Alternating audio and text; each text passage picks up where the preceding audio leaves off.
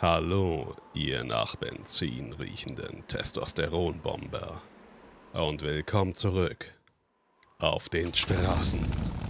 Hier in Vollgas. Full Throttle.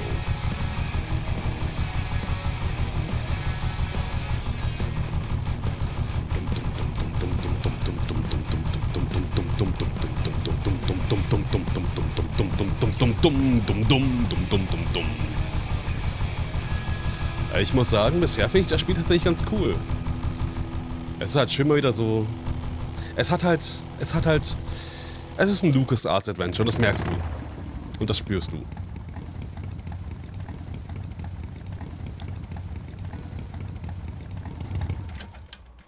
Ah, Mann.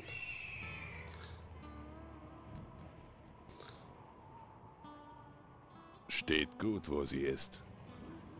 Eigentum von Ricky Myrons reisender Stuntshow.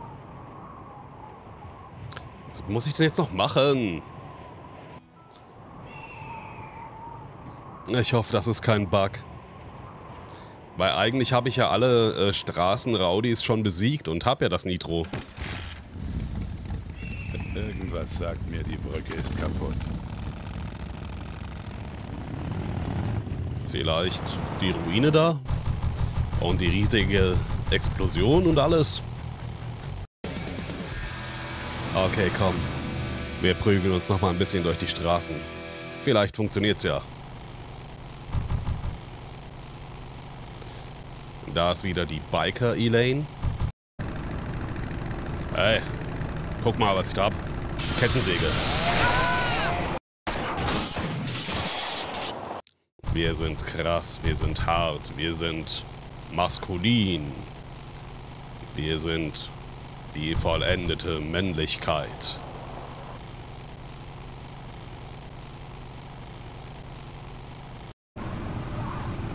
Wir sind so maskulin. Im Männlichkeitstest in der Cosmopolitan haben wir die volle Punktzahl erreicht.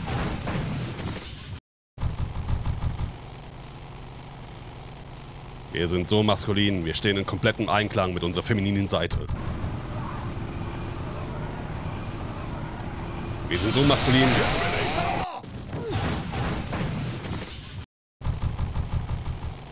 Wir schneiden Blümchen mit der Kettensäge.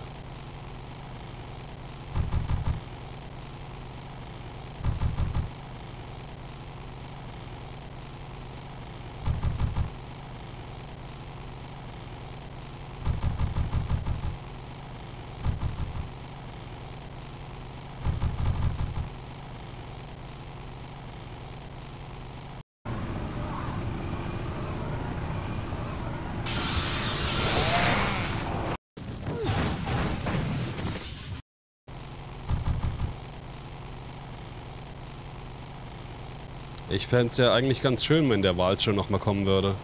Es kommen ja irgendwie immer nur dieselben zwei.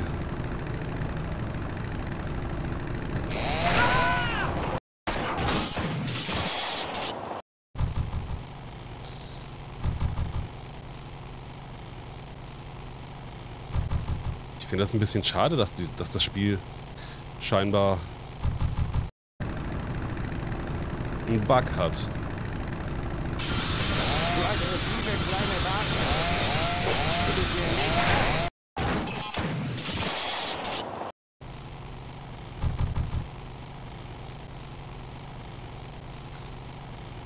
Aber das sind nur die deutschen Versionen. Die deutsche Version von Day of the Tentacle Remastered hat ja auch ein paar Bugs, die nie gefixt wurden. Was ich irgendwie schade finde. Und die deutsche Version von Tales of Monkey Island kannst du teilweise gar nicht durchspielen, ohne irgendwie einen Trick anzuwenden. Und da kam auch nie ein Patch.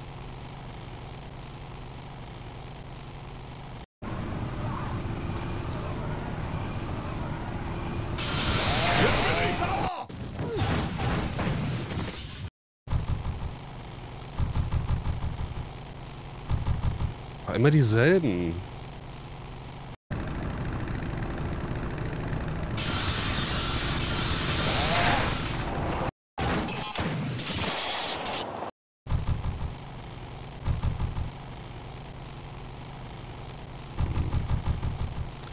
Ich muss vielleicht echt mal googeln, ob es da irgendeinen Bug gibt. Irgendeinen Grund, warum ich nicht weiterkomme.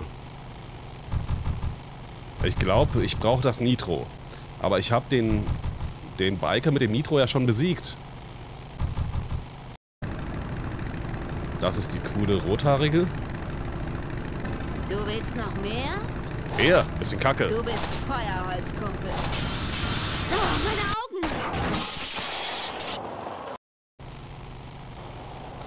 Ah, wieder der. Kettensäge. Jetzt ist er sauer.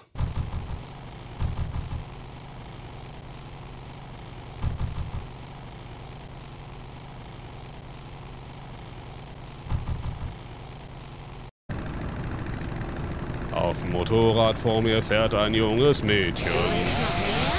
Fährt allein und sie scheint hübsch zu sein. Sie hat eine Kettensäge und damit greift sie mich an. Und jetzt liege ich hier auf dem Asphalt.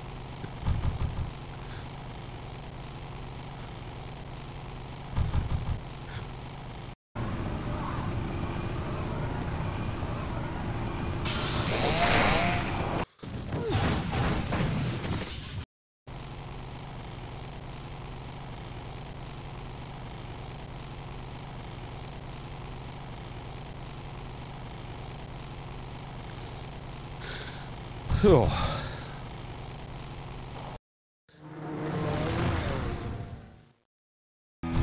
Gibt's da irgendwie noch eine andere...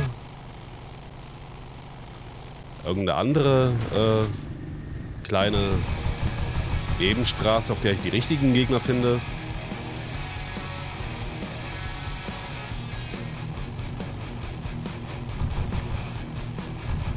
Ah, cool, das kann man auch mit der, mit der Tastatur steuern. Das ist ja viel angenehmer.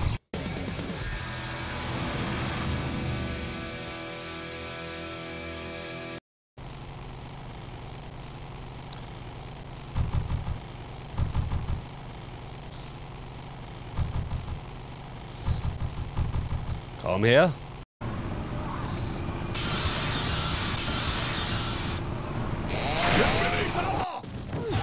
Ja, ja, sei ruhig sauer. Was denkst du, wie sauer ich bin? Ich hänge nämlich in dem Spiel fest.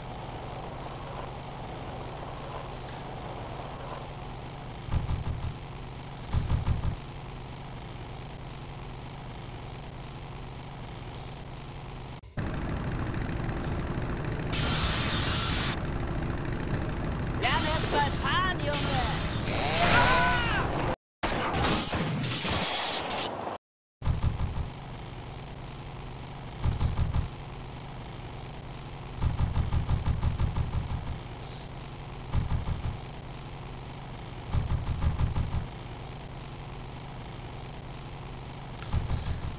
Ich muss sagen, diese Sequenz hier erinnert mich gerade sehr stark an ähm, äh, Rebel Assault, an Star Wars Rebel Assault.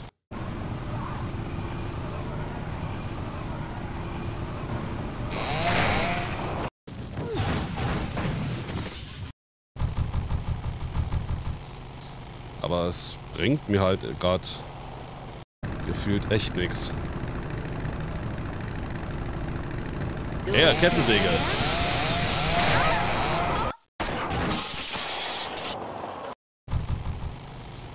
Tja.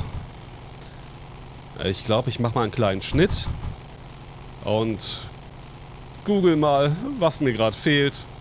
Warum ich nicht weiterkomme. Oh, der ist neu, oder?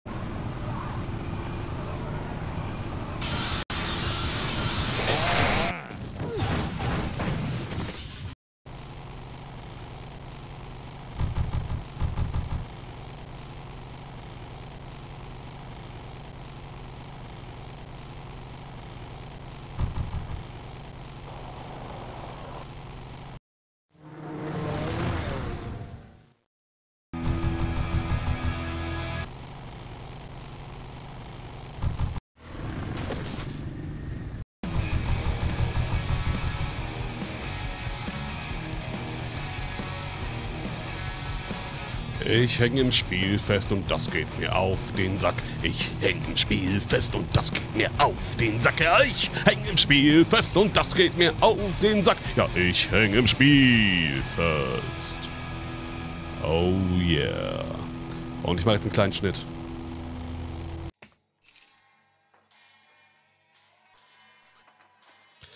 Ah, okay, okay. Ich habe gerade mal geguckt.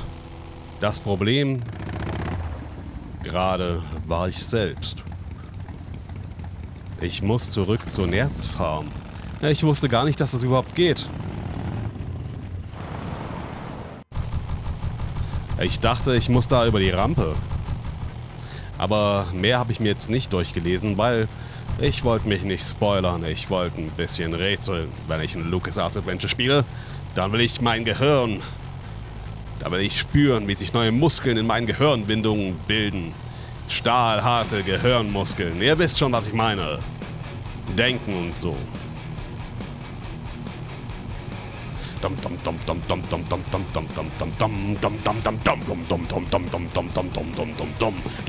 Ich fahr Motorrad und ich bin männlich. Ich fahr Motorrad und ich bin männlich. Der Motor holt auf, wenn ich im Motorrad fahre.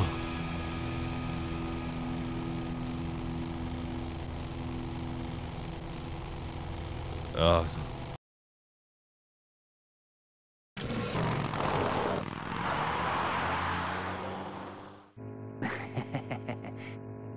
Sieh nur, wie er läuft. Ich hab Verfolger an meinem Auspuff dran. Ich hab Verfolger an meinem Auspuff dran. Die können nix, denn ich bin besser. Und in der Hosentasche hab ich ein Messer. Und jetzt geht's durch die Kacke, denn wir hauen, wir hauen auf die Kacke. Ja.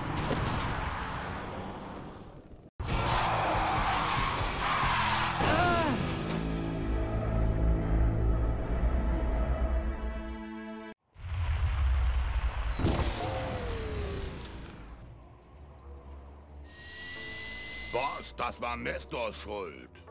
Steigt schnell rein, ich habe einen Plan. Wir werden diese Korlegöre aus ihrem Versteck locken. Mit einem Motorrad. Boss, sie hat doch schon eins. Ja, aber an diesem hat sie mit ihrem Vater gearbeitet. Ist so eine emotionale Sache. Versucht nicht, das zu verstehen. Jetzt beeilt euch.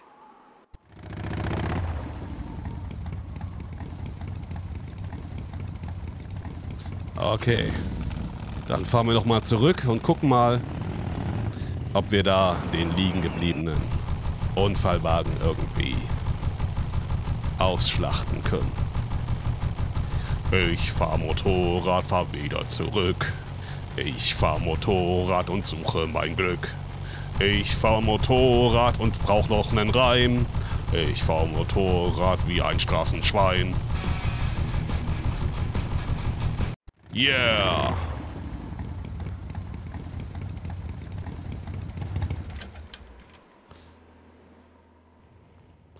Kotflügel. Den nehme ich mal mit. Der sieht cool aus. Ich fasse nichts an, das keine Räder hat. Okay. Hoverauto. Schauen wir uns mal an. Total hinüber. Kotflügel. Schauen wir uns auch mal an. Das ist eins der Dinge, die ich nie gebraucht habe. Was gibt's hier noch? Total hin. Kann ich irgendwas damit machen mit dem Auto?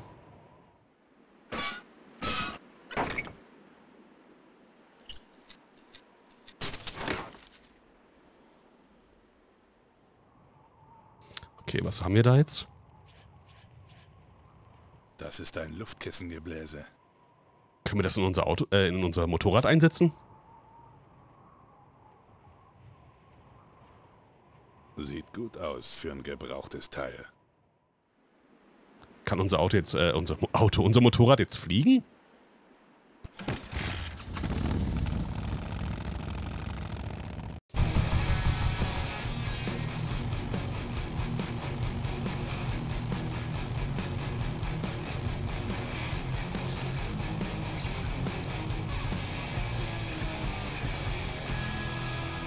Also ich finde, man merkt schon ein bisschen,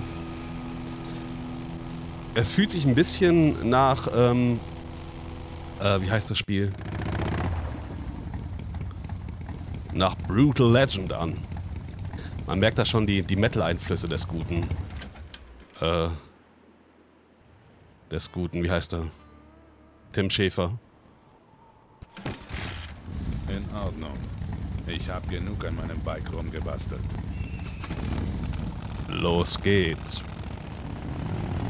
Yeehaw. Wobei Yeehaw ist da falsch. Ah, okay. So viel Anlauf nehmen wir.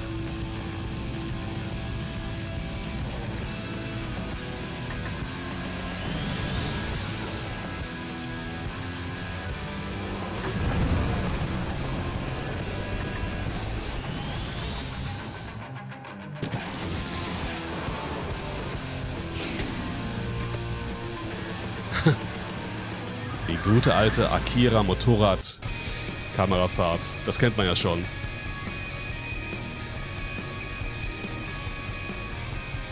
Das wird in so vielen Filmen aufgenommen, äh, neu interpretiert, äh, genutzt.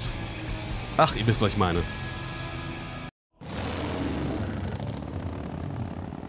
Oh, was das?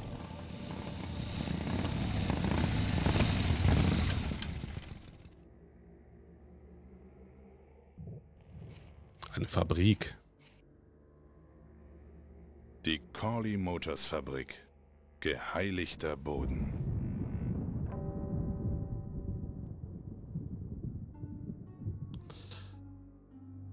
Hier finde ich gerade die alte Fassung echt schöner. Da bewegen sich wenigstens die Rauchschwaden und die Wolken. Da ist jetzt das Remaster ein bisschen statischer. Aber ich mag diese Funktion, dass ich äh, jederzeit grafisch zur Originalfassung wechseln kann. Hallo Wicker. Oh, Katze hat mich angepupst.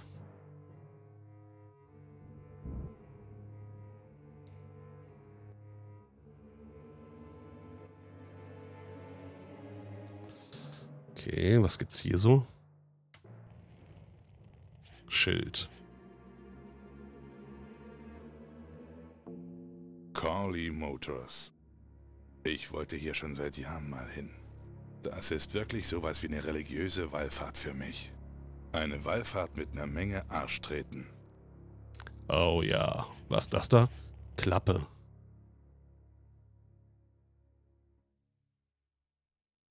Wie die Zellentüren in der Einzelhaft. Kann ich da rein? Das ist eine große Tür. Öffne Tür. Ich bin hier wegen der Aktionärsversammlung. Mr. Ripburger hat die Versammlung verschoben, bis die Mörder von Mr. Corley gefasst sind. Alle Aktionäre sind benachrichtigt worden. Ja, nun, ich habe meinen Anrufbeantworter lange nicht mehr abgehört, Mann. Hm. Okay, was gibt's hier noch? Ich kann nach unten. Nee, das ist dahin. Was ist denn hier? Ah, okay, ich kann hinter die Fabrik.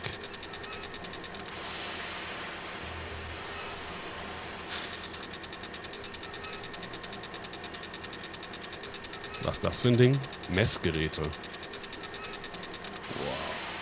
Dieser Laden hier übertrifft echt alles. Was gibt's noch? Wand. An dem Fundament muss echt was getan werden. Kann ich damit was machen? Ich nehme das hier auseinander, wenn ich mal mehr Zeit habe. Okay, was ist das? Luke. Geschlossen. Und das da? Noch eine Luke. Die ist versiegelt. Hm.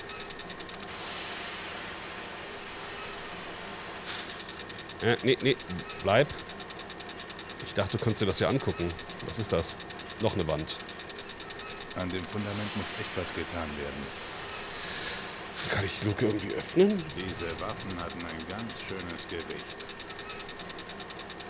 Der ist für Schraubenmuttern.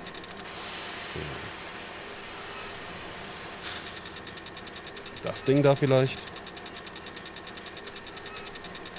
Der ist für Schraubenmuttern. Okay, was gibt's hier noch?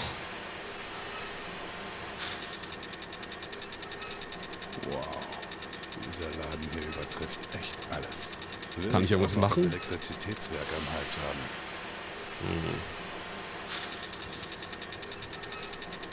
Der ist für Schraubenmuttern. Okay. Was gibt's hier noch? Was gibt's hier noch? Cool.